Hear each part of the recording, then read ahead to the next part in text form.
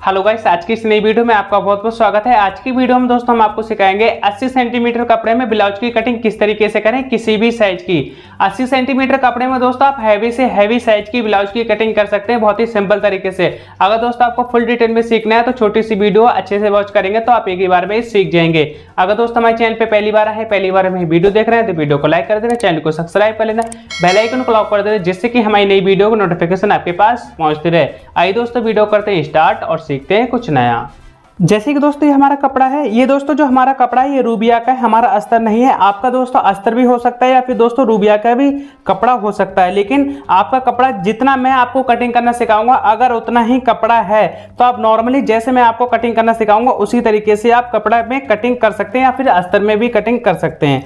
अब जैसे दोस्तों, ये हमारा जो कपड़ा है इसमें दोस्तों हमने काफ़ी सिल्वर वगैरह थी कपड़े में तो हमने क्या करा है? प्रेस से अच्छे से फिनिशिंग से साफ़ कर दिया है। कहीं पर भी हमारी इसमें झोल वगैरह नहीं है, अच्छे से हमने इसमें प्रेस लगा लिया है। आपको भी दोस्तों प्रेस ही लगाकर ब्लाउज की कटिंग करनी है, चाहे आपका रूबिया का कपड़ा हो या फिर दोस्तों आपका अस्तर हो। हमेशा आपको क्या करना है? प्रेस लगाकर ही ब्लाउज की कटिंग करनी है। क्योंकि दोस्तों अगर आप सिलोट वाले कपड़े पे कटिंग कर देंगे ब्लाउज की तो क्या होगा, जब हम प्रेस लगाएँगे बाद में ब्लाउज में और हमारी जो सिल्वर रहेंगी ब्लाउज के पीस में, वो हटेंगी तो क्या होगा, हमारा ब्लाउज लूज हो जाएगा।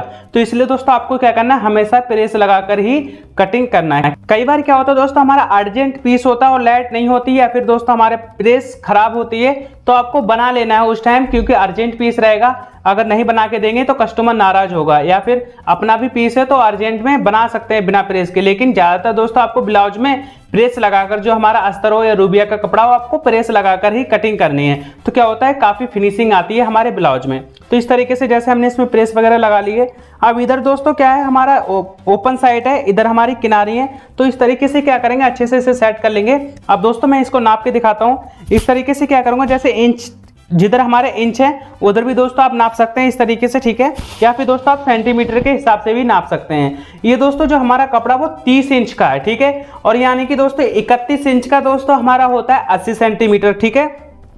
आप दोस्तों सेंटीमीटर की तरफ़ से भी इस तरीके से नाप सकते हैं, ठीक है? इस तरीके से। जैसे दोस्तों हमारा इधर आ रहा है, तीस तीस इंच दोस्तों हमारा कपड़ा आ रहा है तो 80 सेंटीमीटर दोस्तों हमारा होता है इकतीस इंच का। तो इसमें दोस्तों हमारा कम है, दो सेंटीमीटर दोस्तों हमारा इसमें कम है कपड़ा, यानी कि 78 सेंटीमीटर कपड़ा है दोस्तों ये हमारा। तो इसमें नॉर्मली हमारी ब्लाउज की कटिंग हो जाएगी। वो कैसे कटिंग होगी, वो मैं आपको आगे वीडियो में सिखाऊँगा। अब इस तरीके से मैंने आपको कपड़ा नाप के दिखा दिया है। अब सबसे पहले क्या करना होता है दोस्तों? जैसे एक तरफ़ से कपड़ा आपको बाहर की तरफ़ निकाल देना है। इस तरीके से क्या करना है? एक तरफ़ का कपड़ा जो रहेगा आपको, वो बाहर का इस तरीके से निकाल देना है, ठीक है? जैसे मैं निकाल रहा हूँ, इस तरीके से आपको कपड़ा निकाल देना है एक तरफ़ का। एक तरफ़ का हमारा कपड़ा निकल जाएगा। अब यहाँ पर क्या करेंगे? जैसे मैंने एक तरफ़ का ये सारा कपड़ा निकाल के रख दिया है बाहर की तरफ़, ठीक है? अब यहाँ पर क्या करना है? इतना हमारा कपड़ा बचा है, ठीक है? फोल्ड करा हुआ। अब इसमें क्या करना है दोस्तों, जितनी भी आपकी ब्लाउज की चेस्ट हो ना, उसके हिसाब से दोस्तों आपको नापना है, ठीक है?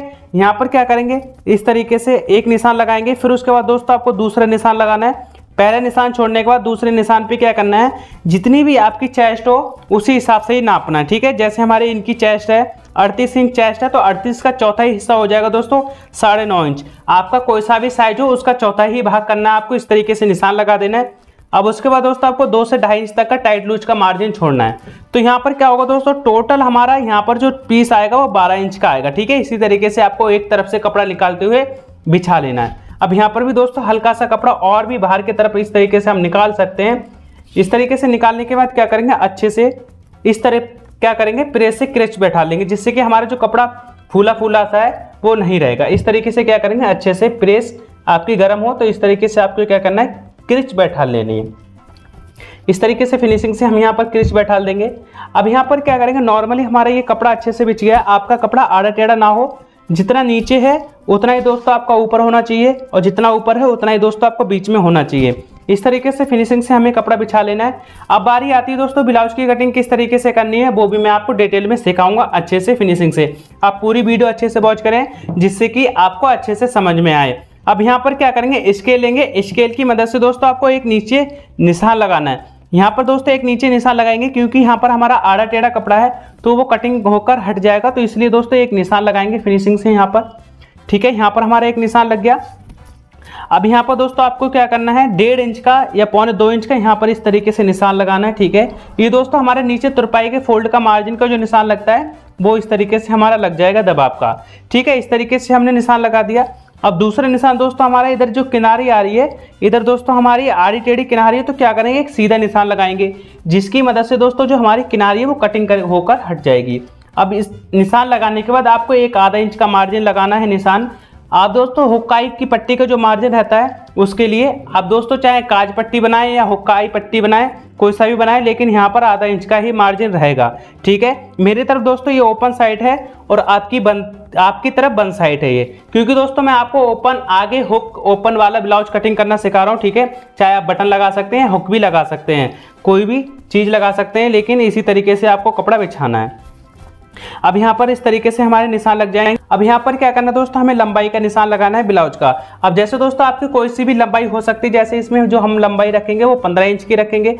अब उसमें दोस्तों, आपको एक इंच प्लस करना है और टोटल दोस्तों, हमारा ये हो जाएगा सोलह इंच। इसी तरीके से दोस्तों, आपको प्लस करना है नॉर्मल ब्लाउज में। जितनी भी आपकी लंबाई हो, उसमें आपको एक इंच ही प्लस करना है। टोटल दोस्तों, हमारा यहाँ पर आ गया है सोलह इंच। तो सोलह इंच क्या करेंगे? नीचे की तरफ़ दोस्तों, हमें क्या करना है? सोलह इंच पे जो हमने निशान लगाया और सोलह इंच इस तरीके से इंच टेप का रख देंगे इस जगह पे। और यहाँ पर दोस्तों लंबाई का निशान इस तरीके से हम लगा देंगे, ठीक है? ये हमारी लंबाई का निशान लग जाएगा।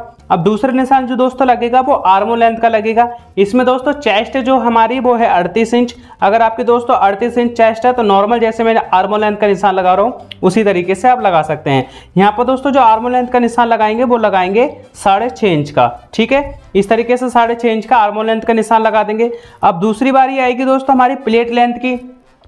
तो प्लेट लेंथ अगर आपकी 38 इंच चेस्ट है तो आप प्लेट लेंथ का निशान लगा सकते हैं साढ़े दस इंच पे, यानी कि साढ़े दस इंच हमारी टोटल प्लेट लेंथ की लंबाई है, आधा इंच इसमें प्लस करेंगे, ग्यारह इंच पे इस तरीके से हम निशान लगा देंगे। क्योंकि दोस्तों आधा हमारा इंच कंधे में दबाव जाएगा, इसलिए दोस्तों हम 11 इंच पे निशान लगाएँगे, क्योंकि साढ़े दस इंच हमारी प्लेट की लंबाई है। अब यही निशान दोस्तों आगे बढ़ाकर इस तरीके से आपको फिनिशिंग से रखना है, और जो हमने पहले निशान लगाए थे, वही निशान आपको लगा देने। ठीक है, इस तरीके से हम निशान लगा देंगे। और ये निशान हम दोस्तों सीधे कर देंगे। इस तरीके से आपको सारे निशान जो भी लगाए हैं, वो आपको सीधे कर देने। ठीक है, इस तरीके से ये हमारी डॉट का निशान लग जाएगा, ये आर्मो लेंथ का निशान लग जाएगा, ये शोल्डर का निशान लग जाएगा। अब यहाँ पर दोस्तों जो डॉट का निशान लगा है, उस जगह पर दोस्तों हमारी प्लेट की दूरी का निशान लगता है। तो प्लेट की दूरी का जो निशान लगाएँगे, अड़तीस इंच हमारी चेस्ट है। चेस्ट के हिसाब से दोस्तों हमारी प्लेट की दूरी के निशान लगते हैं। अब पौने चार इंच पे प्लेट की दूरी का निशान लगाएँगे अड़तीस इंच चेस्ट के हिसाब से, ठीक है? ये दोस्तों जो पहला निशान है, इसे छोड़ देंगे और दूसरे निशान से दोस्तों हमको लगाना है निशान, ठीक है? डॉट का हो या चेस्ट का हो आपका या शोल्डर का हो, पहले निशान छोड़ने के बाद दोस्तों आपको दूसरे निशान से ही निशान लगाने ठीक है? अब नीचे भी दोस्तों आपको क्या करना है पूरे चार इंच पे इस तरीके से निशान लगा देंगे डॉट की दूरी का अब यहाँ पर दोस्तों इंची टेप रखना है पौने दो इंच निशान लगाना है, आधा इंच ऊपर उठा के ठीक है? अब इंची टेप आगे बढ़ाकर रखेंगे, पौने दो इंच पे आधा इंच ऊपर उठा के आपको निशान लगा देना है। ये तो हमारे निशान लग जाएँगे इस जगह पे। अब यहाँ पर दोस्तों कमर का निशान लगेगा हमारा। इसमें दोस्तों जो हमारी कमर है, वो है हमारे साढ़े बत्तीस इंच, ठीक है? तो यहाँ पर चौथाई भाग जो हो जाएगा दोस्तों, सवा आठ इंच हो जाएगा। यानी कि आठ इंच, दो सौ दोस्तों यहाँ पर हमारा कमर का निशान लग जाएगा, चौथाई भाग। और एक इंच आगे बढ़ाकर हमें एक निशान लगाना है, जो दोस्तों हमारे यहाँ पर दबाव जाएगा डॉट का। ठीक है, इस तरीके से हमारा निशान लग जाएगा। यहाँ पर जो दोस्तों हमारी डॉट पड़ेगी, उसके लिए दोस्तों हमने दबाव दे दिया है एक इंच का यहाँ पर। ये दोस्तों डॉट का निशान हमने सीधा कर दिया है। अब यहाँ पर दोस्तों आर्म लेंथ पे जो हमने निशान लगाया है, उस पर दोस्तों हमारी चेस्ट का निशान लगता है। चेस्ट दोस्तों हमारी अड़तीस इंच है, ठीक है तो इस तरीके से हम ये निशान लगा देंगे। अड़तीस इंच हो या फिर दोस्तों आपकी चालीस इंच हो या फिर दोस्तों आपकी इकतालीस इंच हो, इसी तरीके से दोस्तों आपको चेस्ट का निशान लगा लेना ठीक है? तो अड़तीस इंच के हिसाब से हमने यहाँ पर निशान लगा दिया। अब यहाँ से दोस्तों कमर का और चेस्ट का निशान इस तरीके से आपको फिनिशिंग से सीधा कर देना है। और यहाँ पर दोस्तों आपको मार्जिन छोड़ना है, दो से ढाई इंच तक का यहाँ पर टाइट लूज का मार्जिन छोड़ेंगे। और यहाँ से दोस्तों ये डॉट के निशान सीधा कर देंगे क्रॉस में। और यहाँ से भी दोस्तों आपको क्रॉस में डॉट का निशान सीधा कर देना है, ठीक है? इस तरीके से हमारे निशान लग जाएँगे डॉट के जगह पे। अब यहाँ पर दोस्तों आर्मो लेंथ का जो निशान लगा है, उसी पे दोस्तों हमारी एक फ्रंट क्रॉस और बैक क्रॉस का निशान लगता है। तो वो कैसे लगेगा, ये भी दोस्तों हमारी चेस्ट के हिसाब से लगता है। स्पेशली दोस्तों हमने इसमें वीडियो बना रखी है कि आर्मो लेंथ का निशान किस तरीके से लगाएँ और बैक क्रॉस और फ्रंट क्रॉस का निशान किस तरीके से लगाएँ चेस्ट के हिसाब से। अगर दोस्तों आपको हमारी वीडियो नहीं मिली है अभी तक या फिर दोस्तों आपने हमारी वीडियो नहीं देखी है तो वीडियो का लिंक डिस्क्रिप्शन में मिल जाएगा, वहाँ से जाके आप सीख सकते हैं। या फिर दोस्तों हमारे चैनल को सब्सक्राइब कर लें बेल आइकन को लाउ कर दें, जिससे कि जब भी हमारी नई वीडियो आएगी, आपको नोटिफिकेशन मिलती रहेगी, ठीक है? तो यहाँ पर दोस्तों अड़तीस इंच से हमारी चेस्ट है तो इसमें जो फ्रंट क्रॉस का निशान लगाएँगे, वो लगाएँगे साढ़े पाँच इंच का, ठीक है? अड़तीस इंच चेस्ट में साढ़े पाँच इंच का फ्रंट क्रॉस का निशान लगाएँगे, और पौने एक इंच आगे बढ़ाकर जो निशान लगाएँगे, वो हो जाएगा दोस्तों हमारे बैक क्रॉस का। इस तरीके से हमारे यहाँ पर निशान लग जाएगा। अब यहाँ से दोस्तों डॉट का जो निशान है, वो फ्रंट क्रॉस के निशान पे इस तरीके से आपको सीधा कर देना है। अब यहाँ से क्या करेंगे दोस्तों, कपड़ा आपका लीजी वीजी हो तो क्या करना है, काफ़ी साधारण तरीके से आपको कटिंग करना है, आपका आड़ा टेढ़ा ना हो जाए कपड़ा, ठीक है? इस तरीके से जैसे हमारा हिल गया था तो इस तरीके से आपका ना हो, साधारण तरीके से आपको कटिंग करना है, ठीक है? अब यहाँ पर दोस्तों, जो डॉट के निशान है वो हमें डार्क कर देने ठीक है? ये दोस्तों, जो चारों डॉट के निशान लगते हैं, वो गैपिंग हमारी चारों की एक जैसी ही रहनी चाहिए। इस तरीके से हमारे डॉट के निशान लग जाएँगे फिनिशिंग से। अब यहाँ पर दोस्तों, हम चेस्ट भी लिख सकते हैं। इस जगह पर जैसे चेस्ट हमारी अड़तीस इंच है और कमर दोस्तों, हमारी साढ़े बत्तीस इंच है। इस तरीके से आप लिख लीजिए क्योंकि हमें जब स्टिचिंग करेंगे तो हमें याद रहेगा। अब इस तरीके से यहाँ तक हमारे निशान लग जाएँगे। अब क्या करेंगे दोस्तों? इस जगह पे हमारे शोल्डर का निशान लगेगा। शोल्डर दोस्तों, जो हमारा निशान लगता है, वो हमारे बैक गले के अनुसार लगता है। ठीक है? जैसे इसमें दोस्तों, जो हमारा शोल्डर है, वो है हमारा बैक इंच जो है बैक गले के अनुसार हमारा शोल्डर लगता है। तो बैक गला दोस्तों, इसमें जो है, वो हमारा साढ़े सात इंच है। तो दोस्तों, जो हमने फ्रंट क्रॉस का निशान लगाया है। वही दोस्तों हम क्या करेंगे? शोल्डर का इस तरीके से निशान लगा देंगे 11 इंच पे, ठीक है? ये दोस्तों जो शोल्डर का निशान लगाया है, इसमें हमारा जो मार्जिन रहेगा बाजू के दबाव का वो हमारा ऐड है। और यहाँ से दोस्तों पौने तीन इंच पे गली ब्रोड का निशान इस तरीके से हमें लगा देना है, ठीक है? ज़्यादातर दोस्तों क्या होता है, जो हमारा फ्रंट क्रॉस होता है, वही दोस्तों हमारा शोल्डर का निशान लग जाता है। लेकिन दोस्तों आपको सीखना है कि शोल्डर का निशान किस तरीके से लगाएँ बैक गले के अनुसार। तो दोस्तों उस पर भी हमने स्पेशली वीडियो बना रखी है। वीडियो का लिंक डिस्कशन मिल जाएगा, वहाँ से जाके आप सीख सकते हैं, या फिर दोस्तों हमारे चैनल पर जाकर प्ले चेक कर सकते हैं, ठीक है? अब यहाँ से दोस्तों फ्रंट क्रॉस का और आर्मोन लेंथ का इस तरीके से जो शोल्डर का निशान है वो सीधा कर देंगे और यहाँ से दोस्तों बैक क्रॉस और शोल्डर का निशान आपको फिनिशिंग से सीधा कर देना है। ये दोस्तों हमारे निशान लग जाएँगे। अब यहाँ पर दोस्तों आपको फ्रंट क्रॉस की शेप देनी है सबसे पहले आर्मोल की, ठीक है, इस तरीके से।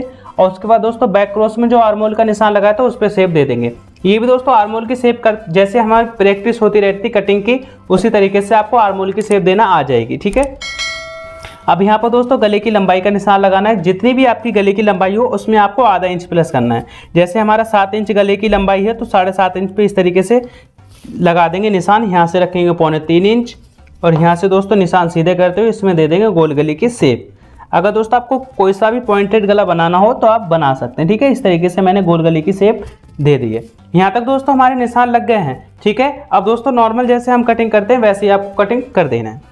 यहाँ से दोस्तों जो हमने आठ टेढ़े का निशान पे कटिंग करना है, ठीक है, जो भी हमने निशान लगाया था एक, उसके बाद दोस्तों जो दूसरा निशान लगाया था, वो हमारा हुकाई के पट्टी के मार्जिन का निशान है, ठीक है, यहाँ से क्या करेंगे, गले पे आपको फिनिशिंग से कटिंग कर देना है।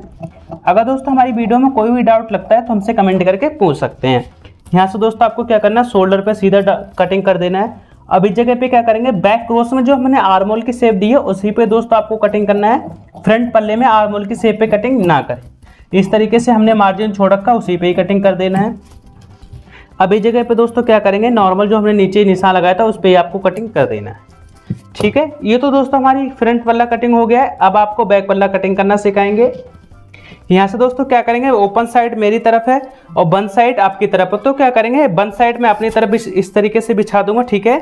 और आपकी तरफ़ ये बिछ गए ओपन साइड इस तरीके से बिछाने के बाद क्या करेंगे दोस्तों? अच्छे से फिनिशिंग से आपको सेट कर लेना है। अगर यहाँ से आप प्रेस लगाएँगे तो आपका इधर उधर नहीं भागेगा पल्ला और अच्छे से आपका सेट हो जाएगा। अब इसी के ऊपर क्या करेंगे? जो दोस्तों हमने फ्रंट पल्ला कटिंग करा है। इसे दोस्तों अच्छे से आपको सेट कर देना है, ठीक है?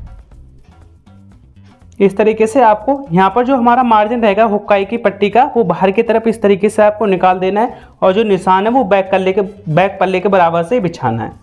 अब यहाँ पर दोस्तों क्या होगा? इस जगह पे हमारा कपड़ा काफ़ी कम रहेगा तो आपको हल्का सा एडजस्टमेंट करना है। ठीक है? इस तरीके से आपको एडजस्टमेंट करते हुए अच्छे से बिछा देना है।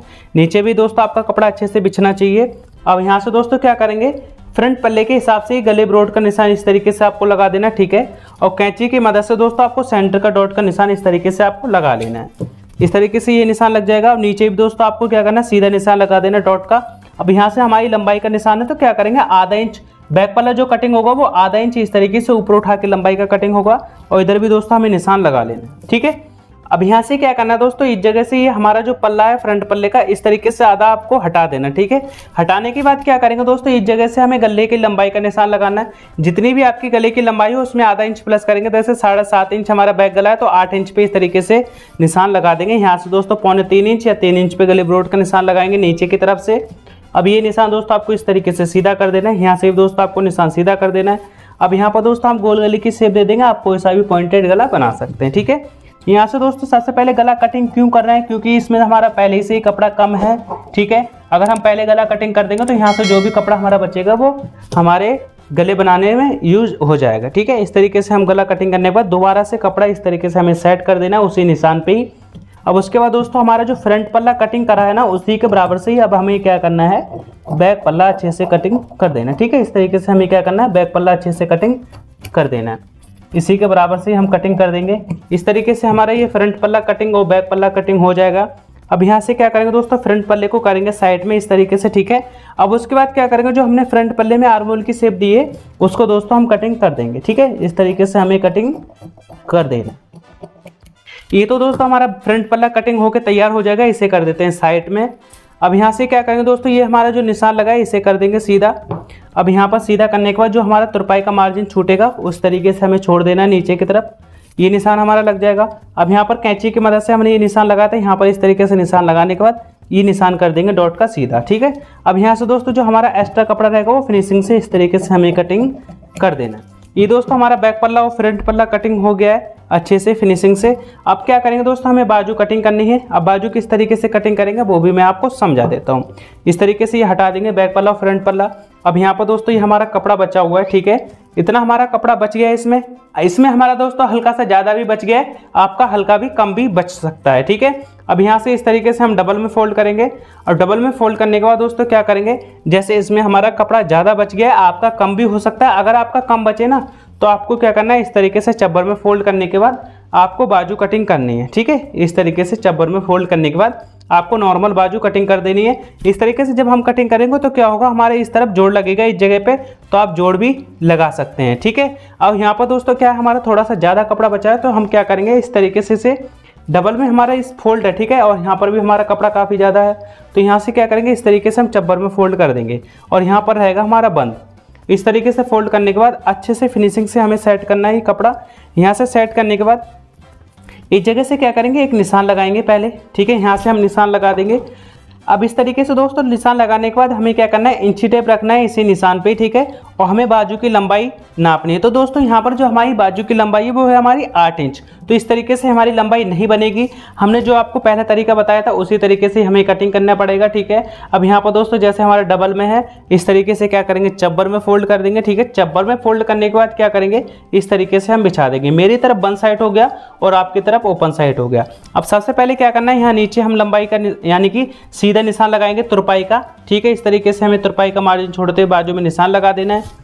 अब क्या करेंगे, जितनी भी आपकी बाजू की लंबाई हो, उसमें आधा इंच आपको प्लस करना है। जैसे आठ इंच हमारी बाजू की लंबाई है, साढ़े आठ इंच पे इस तरीके से रखेंगे।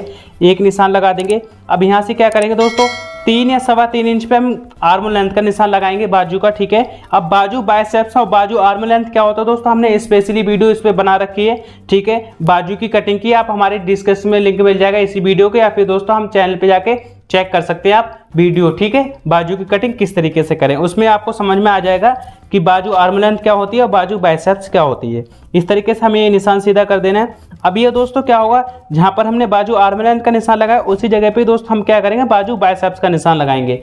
इसमें दोस्तों जो बाजू बाइसेप्स है हमारा वो साढ़े सात इंच है। इस तरीके से हम निशान लगा देंगे, यानी कि पंद्रह इंच हमारा बाजू बाइसेप्स है। हाफ़ हिस्सा हो जाएगा दोस्तों साढ़े सात इंच इस तरीके से हमने ये बाजू बाइसेप्स का निशान लगा दिया। नीचे दोस्तों आपको मोहरी का निशान लगा देना। मोहरी दोस्तों इसमें हमारी है छः इंच, ठीक है? बारह इंच है हमारी, लेकिन हाफ़ हिस्सा हो जाएगा छः इंच। इस तरीके से ये निशान सीधा कर देंगे और यहाँ से दोस्तों ये निशान सीधा कर देंगे, ठीक है? इतना हमारा क्या होगा? जोड़ लगेगा, इतना हमारा कपड़ा एक्स्ट्रा है, वो हम जोड़ इसमें अटैच कर देंगे। यहाँ से दोस्तों आपको आरमोल की सेप दे देनी फिनिशिंग से। अब इसी आरमोल पर क्या करेंगे? नॉर्मली हम कटिंग कर देंगे, ठीक है? इस तरीके से हमारी कटिंग हो जाएगी। नीचे से मार्जिन जो हमारा एक्स्ट्रा है, वो भी हमें कटिंग कर देना है। ऊपर दोस्तों हमें एक कुटका लगा देना है। अब इस जगह पे भी दोस्तों क्या रहेगा? हल्का सा कपड़ा हमारा दिख रहा है तो यहाँ पर भी एक कुटका लगा देंगे। और यहाँ से दोस्तों आपको हल्का सा कटिंग कर देना है, ठीक है? इस तरीके से कटिंग करने के बाद ये हमारी हो जाएगी बाजू कटिंग। अब यहाँ पर दोस्तों ये हमारा कपड़ा बचा है, क्या करेंगे? यहाँ पर दोस्तों जोड़ इस तरीके से हम लगा देंगे, ठीक है? वो स्टिचिंग करेंगे, उसी टाइम हम कटिंग कर लेंगे और जोड़ लगा देंगे। अब यहाँ पर दोस्तों, जोड़ लगाने के बाद क्या होगा, जब हमारे पूरे चारों जोड़ इसमें लग जाएँगे तो उसके बाद दोस्तों आपको क्या करना है नॉर्मली इस तरीके से दोबारा से सेट करनी है बाजू, इस तरीके से, ठीक है? इस तरीके से क्या करेंगे, दोबारा से सेट कर लेंगे हम बाजू।